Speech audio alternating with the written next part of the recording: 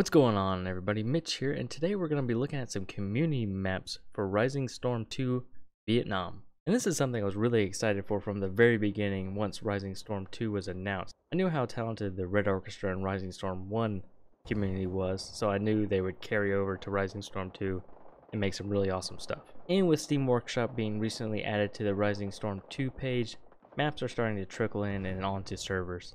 I figured we'd check out some of the best community made maps out there right now. And the first map we're going to look at today is currently available on the Steam Workshop. It comes from Steam user Waitamus. And this map may look familiar to some of you because that's the point. It's a conversion or a remake of the Battlefield Vietnam map Operation Irving and it shares the same name. Now unfortunately I do not have Battlefield Vietnam on my computer anymore so I can't physically go back and look but I did check out some old videos of it because I couldn't physically remember off the top of my head what the old Operation Irving map looked like. But looking at the old videos, it looks like he did a really good job. I mean, all these maps that we're going to talk about are still work in progress, including this one, as you can see in the top left corner. But he got the layout of the old map pretty much spot on. It's two opposing hills with a valley in the middle that are connected by a long bridge. And of course, teams start on opposite sides. For the Americans, though, they do have an airbase that is separated by a large span of water, and at this point, as far as I can tell, there are no off-map call-ins. Because the objectives are basically in a straight line, it is a fairly balanced map, although if you have a very skilled American team, they can get the upper hand by using their helicopters to land behind enemy lines. But from watching several maps play out, it's quite possible for both sides to win. Moving on, the next map I want to look at was created by Steam user Tyler parentheses vacation. Oh I don't know, is that, can you change your name on Steam? He on vacation or is his name always vacation? It's confusing. But besides his name, this is a very interesting map. One I really do enjoy. It's probably one of my favorite custom maps at this point. Now, something that's unique about this map is the US is on defense. The Americans spawn slightly outside of one of their FOBs and they can usually get there before the Vietnamese. And as far as the objectives go, this map is very similar to Hill 937 where you have two spawn points and each spawn point has their own set of objectives in front of them. Unlike Hill 937 where they culminate into one objective, this one, each side has its final objective, so both sides need to succeed to win. Now, if you want to see how to get to those objectives, that could be a little difficult because the in-game map for this map is not completed yet. Like I said, this is a work in progress. All these maps are, so don't hold it against it, but you can't see the terrain on your map. You'll just, the objective locations and everything else will be black as pictured on the screen. The one issue as far as gameplay goes with this map is it may be skewed towards the Americans a little bit more.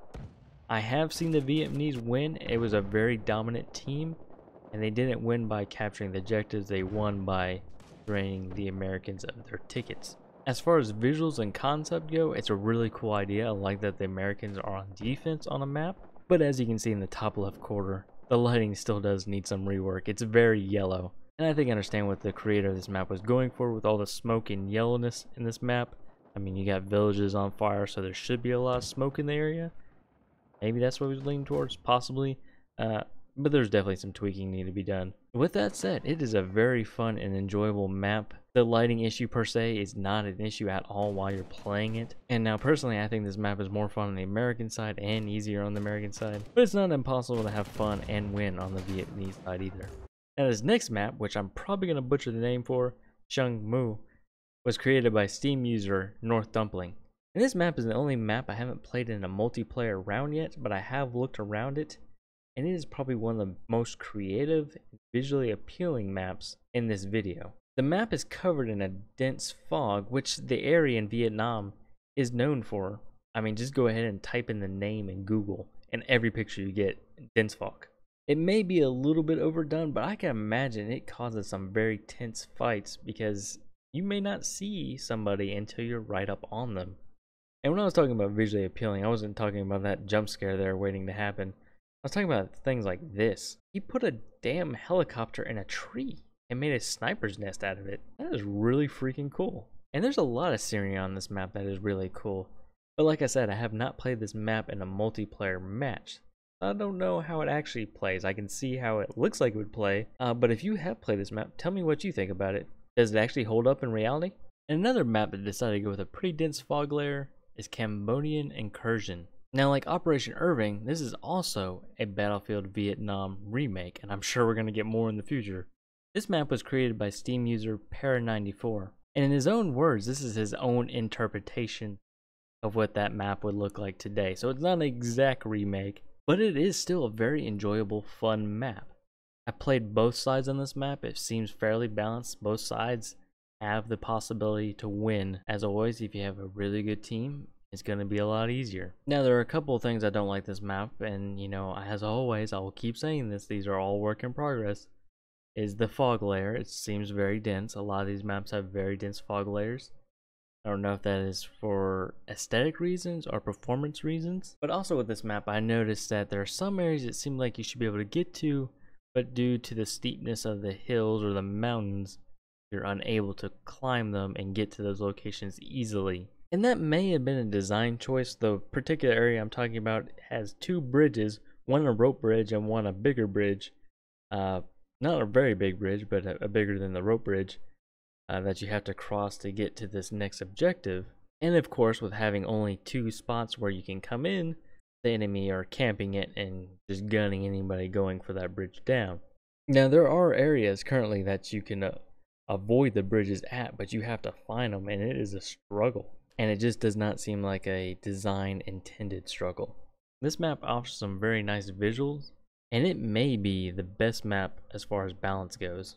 It's either this map or our next map, now, Cousteau's Plantation was made by Steam user, I'm gonna call him Nimitz1104, Nimetz1104, I'm not sure.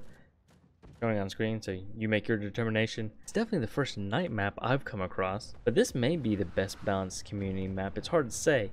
As far as the objectives go, the Vietnamese are on defense, with the US pushing the first objective, which is a watchtower.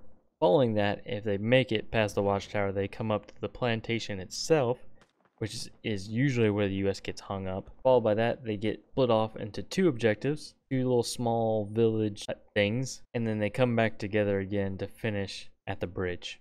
This map is a struggle for both the US and the Vietnamese side to win. That right there tells me it's pretty well balanced. This map does have some visual bugs like many of the community made maps. A lot of them do have lighting issues as far as their shadows go. Uh, this one has this.